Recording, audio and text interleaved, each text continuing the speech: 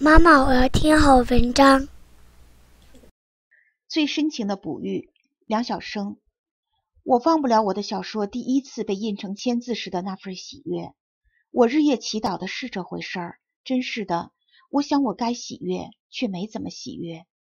避开人，我躲在某个地方哭了。那一刻，我最想我的母亲。我的家搬到光仁街，已经是一九六三年了。那地方。一条条小胡同仿佛烟鬼的黑牙缝，一片片低矮的破房子仿佛是一片片疥疮。饥饿对于普通的人们的严重威胁，毕竟开始缓解。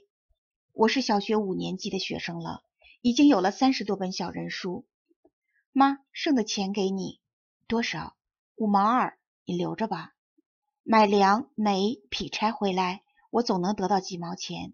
母亲给我，因为知道我不会乱花。只会买小人书，当年小人书便宜，厚的三毛几一本，薄的才一毛几一本。母亲从不反对我买小人书，我还经常出租小人书，在电影院门口、公园里、火车站。有一次，火车站派出所一位年轻的警察没收了我全部的小人书，说我影响了站内秩序。我一回到家就嚎啕大哭，我用头撞墙。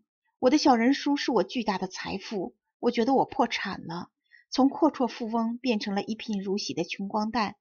我绝望的不想活，想死。我那种可怜的样子使母亲为之动容，于是她带我去讨还我的小人书。不给，出去，出去！车站派出所年轻的警察，大檐帽微微歪戴着，上唇留着两撇小胡子，一副格列高利那种桀骜不驯的样子。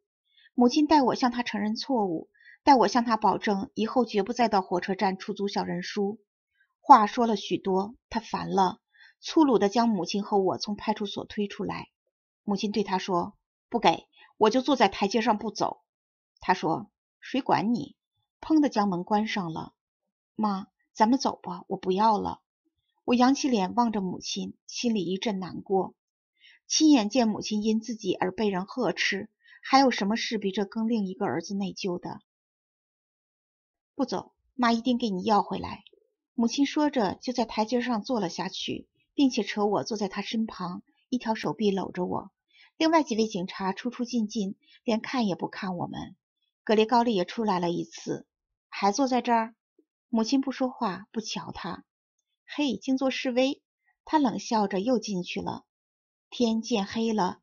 派出所门外的红灯亮了，像一只充血的独眼，自上而下虎视眈眈地瞪着我们。我和母亲相依相偎的身影被台阶斜折为三折，怪诞地延长到水泥方砖广场，淹在一汪红晕里。我和母亲坐在那儿已经接近四个小时，母亲始终用一条手臂搂着我。我觉得母亲似乎一动也没有动过，仿佛被一种持久的意念定在那儿了。我想。我不能再对母亲说：“妈，我们回家吧。”那意味着我失去的是三十几本小人书，而母亲失去的是被极端轻蔑了的尊严，一个自尊的女人的尊严。终于，格雷高利又走出来了。“嗨，我说你们想睡在这儿呀？”母亲不看他，不回答，望着远处的什么。“给你们吧。”格雷高利将我的小人书连同书包扔在我怀里。母亲低声对我说。叔叔，语调很平静。我数了一遍，告诉母亲，缺三本《水浒》。母亲这才抬起头来，仰望着格列高利，清清楚楚地说：“缺三本《水浒》。”他笑了，从衣兜里掏出三本小人书扔给我，咕哝道：“哟呵，还跟我来这一套。”母亲终于拉着我起身，昂然走下台阶。站住！格列高利以将军命令士兵般那种不容违抗的语气说。等在这儿，没有我的允许，不准离开。我惴惴地扬起脸望着母亲。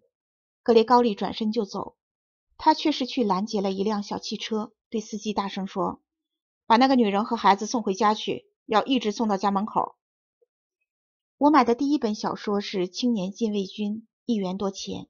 母亲还从来没有一次给过我这么多钱，我还从来没有向母亲一次要过这么多钱。但我想有一本《青年禁卫军》。想得整天失魂落魄、无精打采，在自己对自己的怂恿之下，我到母亲的工厂向母亲要钱。母亲那一年被铁路工厂辞退了，为了每月二十七元的收入，又在一家街道小厂上班，一个加工棉胶鞋帮的作坊式的街道小厂。那是我第一次到母亲为我们挣钱的那个地方。空间非常低矮，低矮的使人感到心理压抑。不足二百平方米的厂房，四壁潮湿颓败，七八十台破缝纫机一行行排列着，七八十个都不算年轻的女人忙碌在自己的缝纫机后。因为光线阴暗。每个女人头上方都吊着一只灯泡，正是酷暑炎夏，窗不能开。七八十个女人的身体和七八十只灯泡所散发的热量，使我感到犹如身在蒸笼。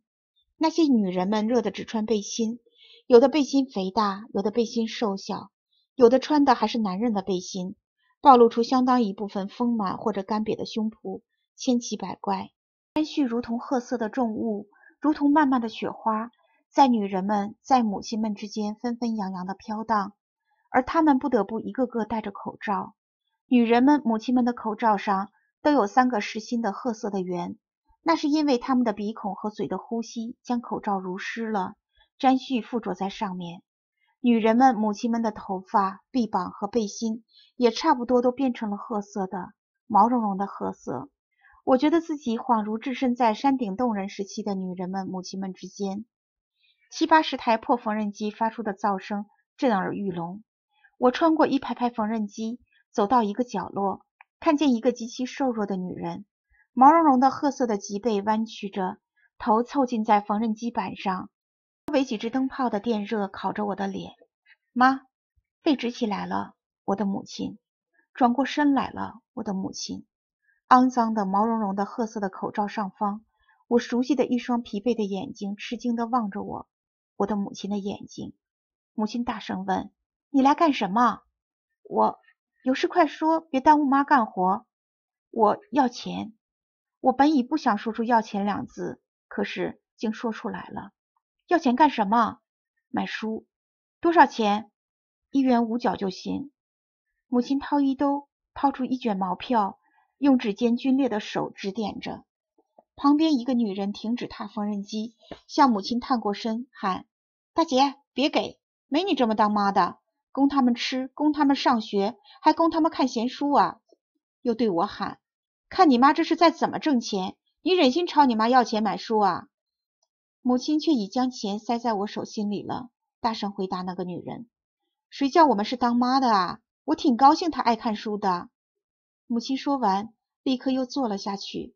立刻又弯曲了背，立刻又将头伏在缝纫机板上了，立刻又陷入手脚并用的机械忙碌状态。那一天，我第一次发现我的母亲原来是那么瘦小，竟快是一个老女人了。那一刻，我努力要回忆起一个年轻的母亲的形象，竟回忆不起母亲她何时年轻过。那一天，我第一次觉得我长大了，应该是一个大人了。并因自己十五岁了才意识到自己应该是一个大人了，而感到羞愧难当，无地自容。我鼻子一酸，攥着钱跑了出去。那天，我用那一元五角钱给母亲买了一听水果罐头。你这孩子，谁叫你给我买水果罐头的？不是你说买书，妈才舍得给你钱的吗？那天，母亲数落了我一顿，数落完，我又给我凑足了购买青年禁卫军的钱。我想，我没有权利用那钱再买任何别的东西，无论为我自己还是为母亲。从此，我有了第一本长篇小说。